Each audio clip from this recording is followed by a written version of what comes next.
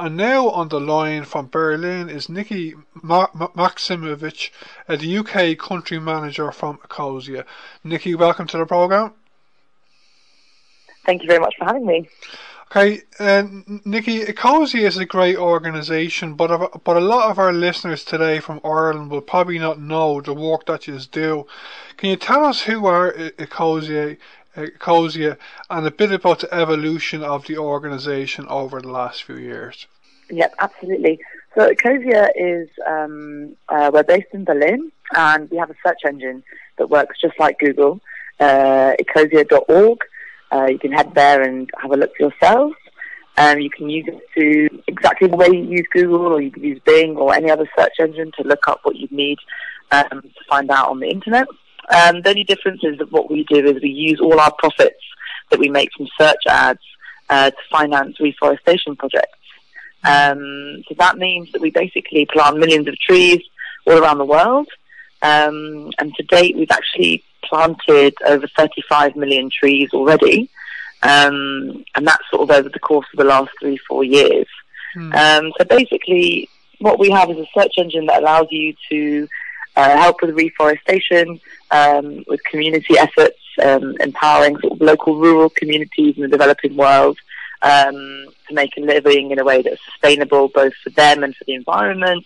Um, but basically, by just by doing what you'd be doing anyway, which is searching online, browsing the internet. Mm, it's amazing that you've planted over 30 million trees. You know, I think it's fantastic.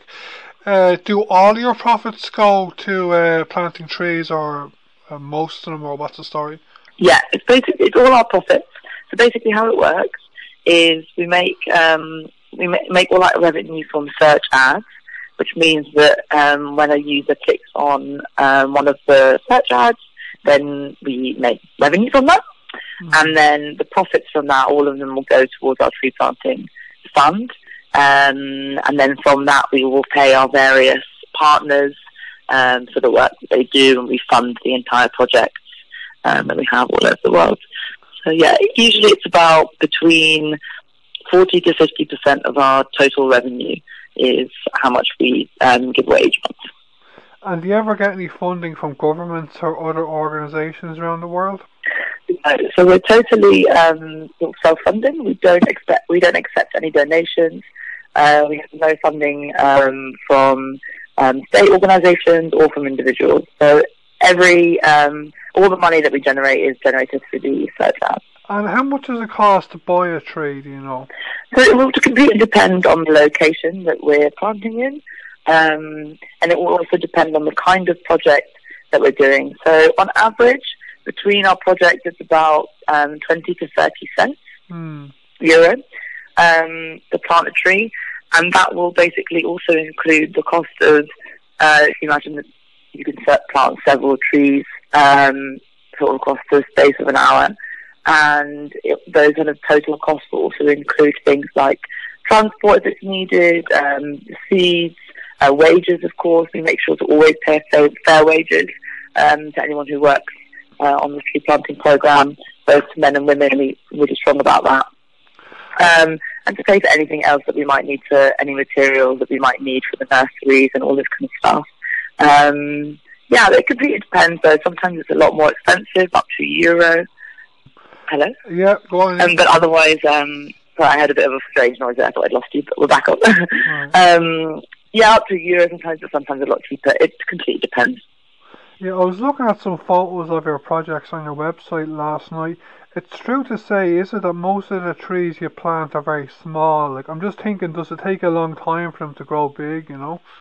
Yes, we tend to plant new trees, so that's usually little saplings um, and it depending on the location, it will take years for them to to grow. We do actually we only really count a tree um, as sort of having been successfully planted and grown after if it's still there after three years, if it oh. survives the sort of initial three year period.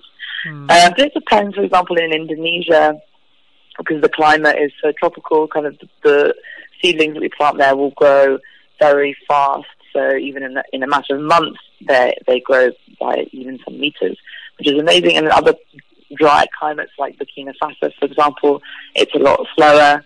Um, and it also depends on the tree.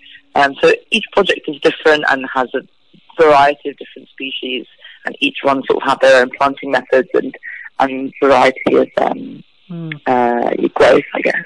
You mentioned there are two countries that you plant trees in. Is it solely in developing countries you plant trees in? Pardon? Is, is, is it solely in developing countries that you plant trees in? Developing countries? So we actually focus, yeah, so we actually focus on um, biodiversity hotspots. So these are areas in the world where you have the highest concentration of um, biodiversity, mm. but that's ultimately quite threatened. Um, so a very popular example is maybe Madagascar. Um, and these areas tend to be um, sort of in the Horn of Africa, South America, um, Indonesia as well as a biodiversity hotspot. So it tends to be an overlap between um, sort of developing countries and projects and the sort of areas that we look in from an environmental perspective. Mm. Um, and the reason why we choose to work in these biodiversity hotspots because actually planting a tree here has a much higher environmental impact mm. than it would do, for example, planting one elsewhere. But on the other hand, we also really like to focus on projects that empower the, the people in some way that are involved in the project, the local communities. So often the um, local communities, rural communities, for example, in Madagascar, um, suffer a lot from deforestation, um, be that from fires, be that from logging, um, corporations logging illegally, legally. Um, and so what we try and do is, is, provide them with an alternative source of income, um, which comes through basically planting a rich, biodiverse, mixed forest from which they can actually also have a living. Um, and yeah, will actually also empower them to um, yeah to improve their lives in, in many ways other than just um, helping the, the natural environment. Mm. If you have planted over 30 million trees in the last three or four years, you must have a lot of people actually doing the planting, do you? Yeah, so we've got quite a lot of projects. When I actually first joined Ecosia two years ago, we had only um, three projects or four projects.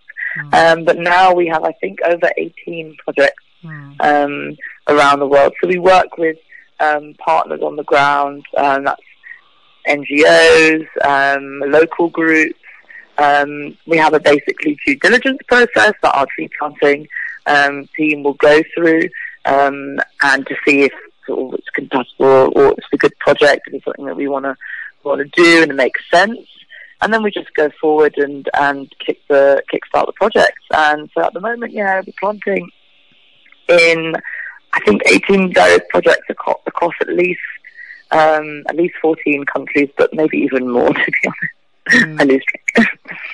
just to talk a bit about Ireland um, for our listeners. Um, planting trees is something I've been interested in for a long time, even though I've never been involved in an environmental organisation and I don't have my own backyard, so I've never even planted a tree.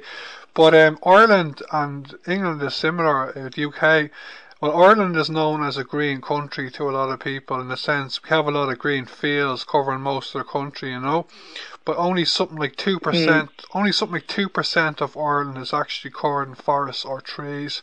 Um, and a lot of the fields in Ireland in rural areas have no animals grazing on them, and there's and, and, there's no food grown on most of them.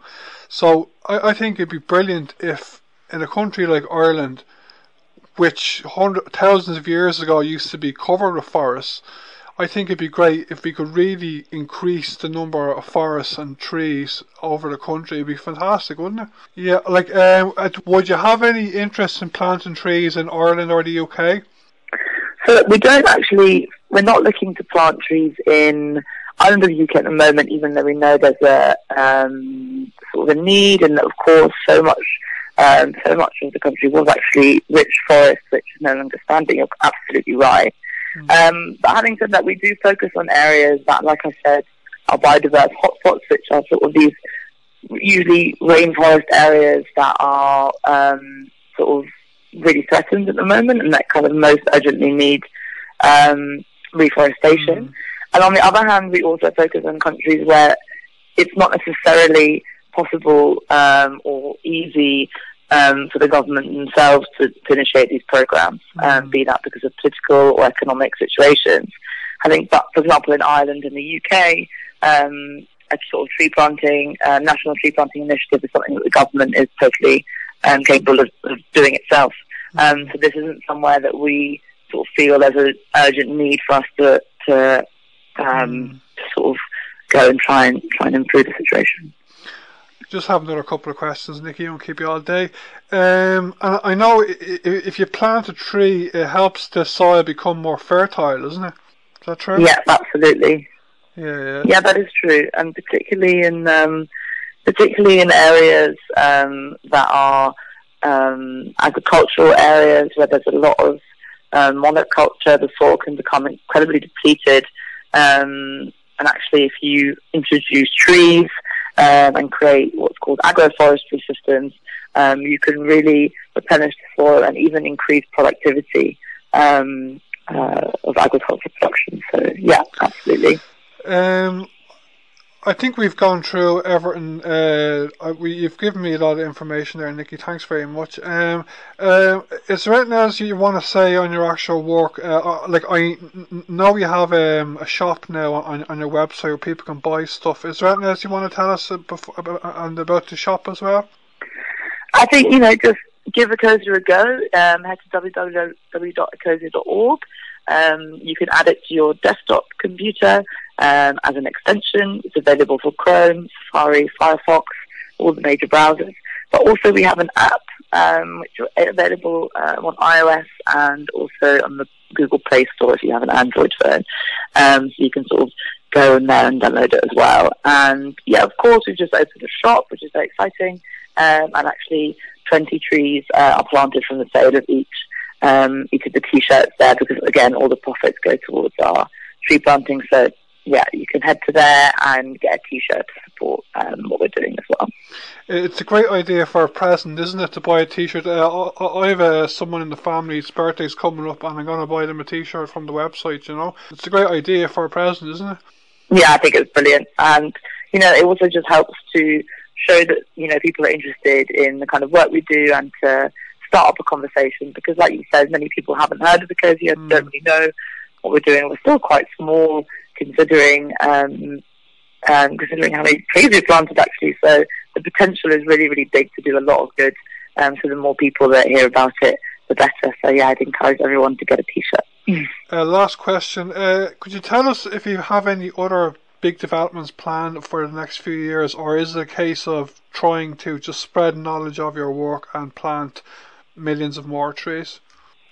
And that's exactly it. We're just trying to get the word out, trying to get more people to, to use Ecosia and plant a million more trees. We've got a big goal of planting a billion trees by 2020. Mm. Um, so that's something that we're really working hard towards. And we know we're constantly working on improving um, search engine as our mobile app browser as well. So all of those things are all to come in the next few years, hopefully. Okay, Nikki. Thanks very much.